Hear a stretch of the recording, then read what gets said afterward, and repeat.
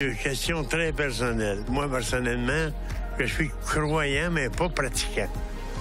En général, les gens cherchent ce qui leur plaît à eux, puis ce qui leur plaît pas, ben, ils laissent tomber, mais c'est pas toujours ce qu'il faut faire. Est-ce que vous pensez que quand on croit, est-ce que c'est on, on le fait pour nous? C'est dans le sens, c'est, c'est, c'est, c'est nous qui est avantagé là-dedans? Ben c'est sûr, c'est nous qui est avantagés, ça nous donne du bonheur, ça nous, ça nous aide à grandir, oui. Oui. Oui, je pense que ça, ça, ça c'est vrai. OK. Toi, est-ce que tu es croyante? Non. Tu crois qu'il n'y a rien au-dessus, euh, il y a un- pas un Dieu créateur, non? Non.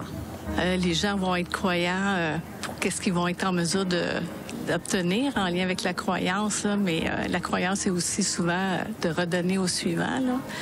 Tu sais, de s'impliquer dans sa communauté, c'est de penser à autrui. Là. Euh, Oui, je pense. Souvent, quand il se passe des mauvaises choses dans le monde, c'est c'est là que les gens euh, se rapprochent de la religion et, et viennent euh, voilà se, se diriger euh, vers Dieu pour euh, pour rechercher du bien-être, je pense. Moi, dans ma famille, on croit en Dieu, puis on, on pense que ça peut nous apporter du bénéfice. Je pense que oui. C'est c'est un, un acte égoïste. Oui, je le crois.